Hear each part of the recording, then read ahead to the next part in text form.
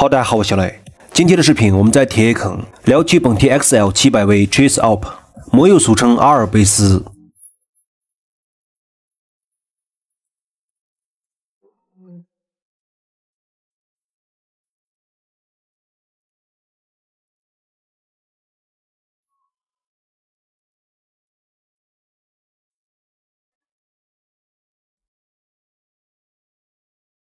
是泛指本田四个型号，分别为1991年到1996年 XL 400V，也俗称不死鸟。这个车只有日版，目前收藏价格大概七千到一万一左右。第二个型号1987年到1999年 XL 600V，目前收藏价格在五千到一万一左右。第三个型号2000年到2006年 XL 650V，目前收藏价格八千到一万五左右。最后一代2008年到2011年 XL 700V，这个目前价格不详，我没有骑过，国内也很少见。其次，阿尔卑斯是非洲双缸的弟弟。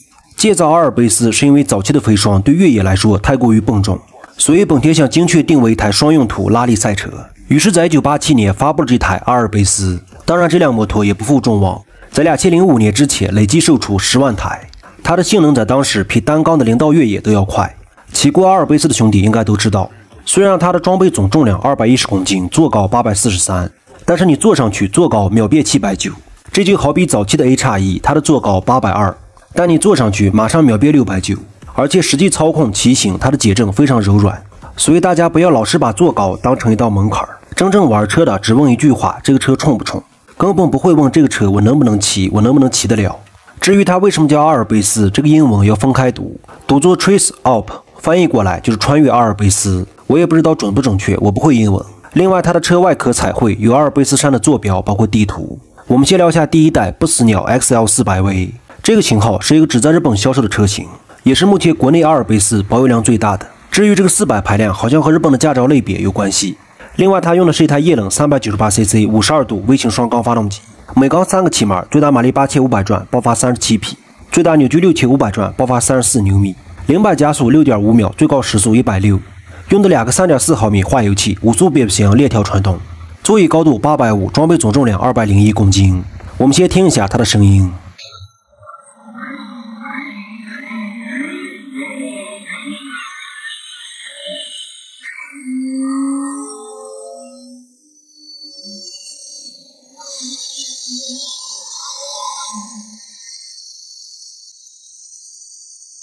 真正的第一代是这一台，发布一九八七年 XL 六百 V。它是根据达喀尔赛车 NXR 750技术开发，在 NXR 750的结构上提高了为铺装路面的通过能力，用的是一台液冷 583cc 52度微型双缸发动机，每缸三个气门，最大马力八千转，爆发五十匹，最大扭矩六千转，爆发五十二牛米，用的两个3.2毫米精兵化油器，五速变速箱，链条传动，座椅高度八百五，装备总重量一百九十四公斤，油箱容量十八升，当年最高时速一百七十二，当时最火的车系应该是雅马哈 XT660。本田自家的 XL 六百，铃木的 DR 六百达喀尔版，最后川崎推出了 KLR 六五零，但是这些车型无一例外都在刻意强调沙漠性能，只有本田 XL 六百 Chase Up 坚持让买家追寻自己心中的阿尔卑斯山脉，既追求长途拉力性能，也追求公路舒适性。不过到了最后，这个尝试在国外是成功的。第三代发布于两千年 XL 六五零 V，从这代开始，它用的是多维尔 NT 六五零的发动机，这个车系还有一个叫 GT 六五零。目前 NT 车系正在复活，就是最新的 NT 一千一这一代的设计跟瓦尔德罗一起也很相似，提供了行程更长的悬架，包括更宽的座椅。用的是一台液冷六百四十七 cc 四冲程五十二度微型双缸发动机，每缸三个气门，最大马力七千五百转，爆发五十二匹，最大扭矩五千五百转，爆发五十四牛米，依旧是五速变速箱链条传动。用的两个三点四毫米倾斜 CV 型化油器，座椅高度八百四十三，装备总重量二百一十公斤，油箱容量十九升，最高时速一百七。本田老的拉力车型都容易排气生锈、辐条断裂，而且它的前减震不可调。最后一代发布于两千零八年，停产于二零一一年。XL 七百 V 是不是乍看起来有股虎斯瓦纳九零幺的味道？其实这个车型放到今天也不过时。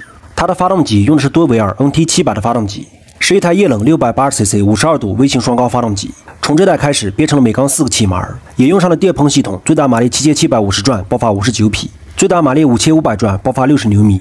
用的五速变速箱链条传动，座椅高度八百四十一，干重二百一十四公斤，最高时速一百七十三，搭配了科学的 CABS 系统，还有本田的点火安全系统。它的顶箱容量四十五升，边箱容量二十九升，也可选配聚碳酸酯挡风玻璃。第二十毫米的坐垫提供加热功能，包括加热手把。前轮胎十九寸一百，后轮胎十七寸幺三零。它的所有车型均配备底盘装甲，包括高位排气。除此以外，没有什么科技功能。视频最后总结一下，阿尔卑斯车系是将中排量旅行车的元素与越野耐力赛车型的底盘包括外观相结合，提供了日常通勤到长途旅行，再到探索人迹罕至的道路。阿尔卑斯始终结合了最佳的工作方式，但是它在风格和性能方面始终落后。也就是说，没有一个好的设计和更先进的发动机，这个坑就填好了，哪里不对多多指点。感谢观看，拜拜，再见。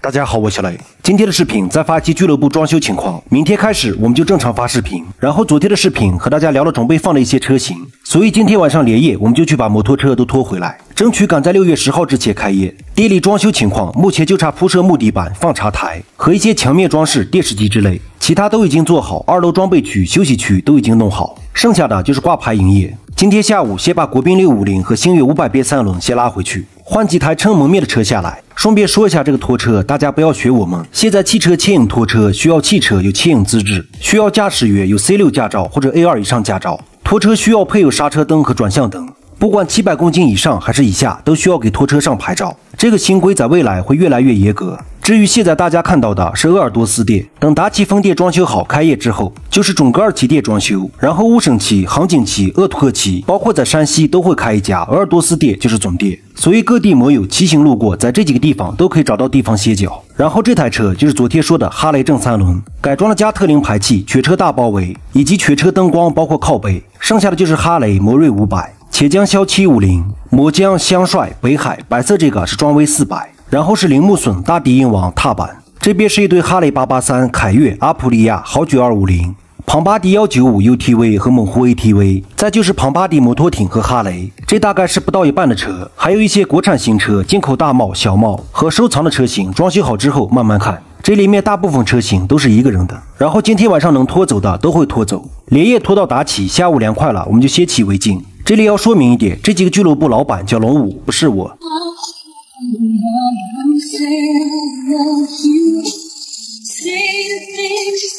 然后俱乐部名字还没有想好，未来这几个俱乐部都会叫一个名字。想好之后，有来玩的摩友给大家发定位。然后大家一直问为什么实车评测发的这么少，主要是没人给充值，而且我想的测试和大家想的测试可能不一样。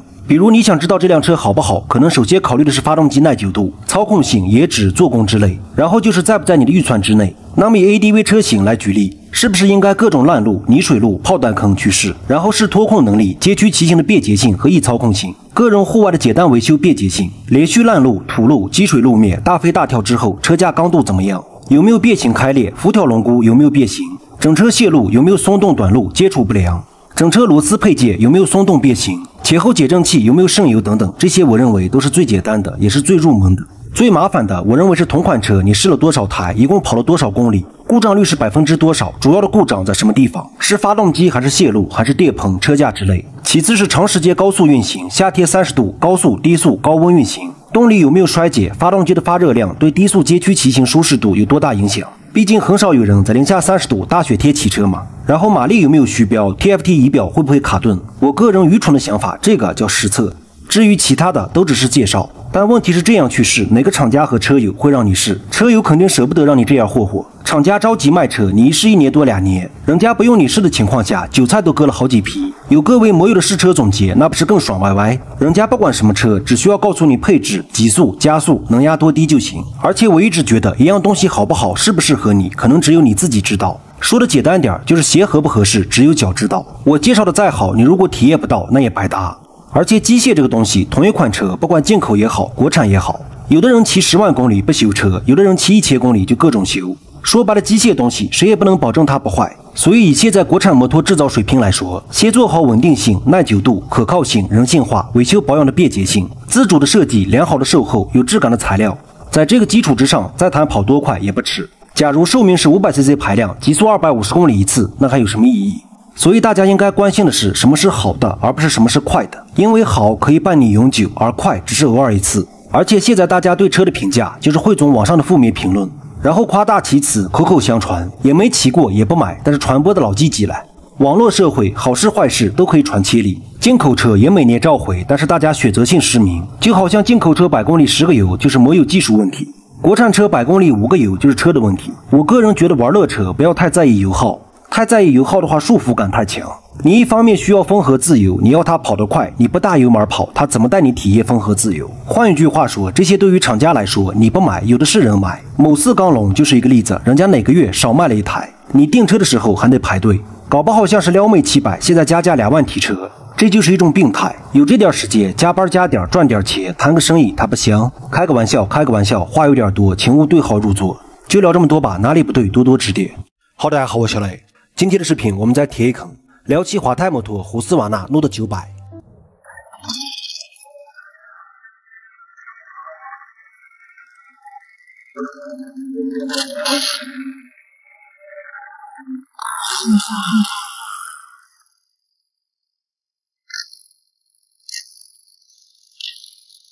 说到虎斯瓦纳诺德九百，很多兄弟感觉很稀有，甚至没有听说过。其实虎斯瓦纳、摩托古兹、阿普利亚。这些品牌之前在国内属于小众品牌，所以他们的车型我们知道的并不多。但是车型不多，并不代表车质量不好，而是因为小众而且贵。比如虎斯瓦纳，当之无愧的顶级越野品牌，而这台诺德九百属于跨界车型，属于虎斯瓦纳和宝马摩托共同研发，采用了宝马 F 八百双缸发动机。但是虎斯瓦纳做了很多优化，可以说完全不同。比如做了三百一十五度的曲轴来模拟微型双缸发动机，而且最大马力做到了一百零五匹。而宝马的 F 八百全系列，比如八百 S、八百 GT、八百 GS、八百 ST、八百 R、八百 GS ADV 这一系列车型都没有突破九十五匹，可以说发动机做了很大的升级。而且虎斯瓦纳为什么要使用宝马技术？因为它从两千零七年就被宝马收购，收购之后推出很多跨界车型，比如 T 二六五零、SM 六幺零、TE 六幺零、诺德九百，但是这些车型没有一个做成功，都以失败告终。后期到了二零一三年，宝马撑不住。又将虎斯瓦纳卖给了 KTM，所以二零一三年之后，虎斯瓦纳归 KTM 所有。这里有个小插曲：零七年，虎斯瓦纳搬到了德国，它的旧厂房和一些发动机被我国星越摩托购买，所以今天的星越包括 SWM，它的中排量发动机来自于虎斯瓦纳。关系捋清楚，我们聊一下这台摩托，它用的是一台液冷八百九十八 cc 四冲程并列双缸发动机，每缸四个气门，压缩比十三点零比一，发动机缸径八十四，行程八十一，这个数据与宝马 F 八百完全不同。因为发动机缸径加宽两毫米，行程加了五点四毫米，气门也增加了一毫米，发动机曲轴变成了三百一十五度，换来了最大马力八千五百转，爆发一百零五匹，最大扭矩七千转，爆发一百牛米。用的六速变速箱，湿式多片离合器，座椅高度八百七，整车净重一百七十四公斤，油箱容量十三升，最高时速二百二。前轮胎十七寸幺二零，后轮胎十七寸幺八零，使用了欧零四减震鲍鱼卡钳。这台车油箱位置在座椅下面，也是为了更好的重量分配。另外出厂可以选配 ABS。目前这台摩托在国内，二零一二年到二零一四年售价大约四万左右，不过大概率只能收藏，不可以上路。视频最后总结一下，这台摩托以我个人来说很难定位，因为它既像台街车，也像是一台华泰摩托，但是整体造型离地间隙，感觉又像换了公路胎的越野，还是叫华泰摩托更准确一些。另外这台摩托拿过德国红点设计大奖，这个大奖目前雅马哈得的最多。另外我很喜欢这个摩托油箱的设计。它和座椅外壳融为一体，看起来很有设计感，而且裸露的发动机配合钢管车架，也没有看起来很杂。这一点七五二 S 包括右十八百真得学一下。就聊这么多吧，水一起，这个车我也不是很了解，不过我认为它不是一台好操控的摩托，应该是一个很暴力的机甲猛兽。有骑过的兄弟可以科普一下。就聊这么多吧，哪里不对多多指点。感谢观看，拜拜，再见。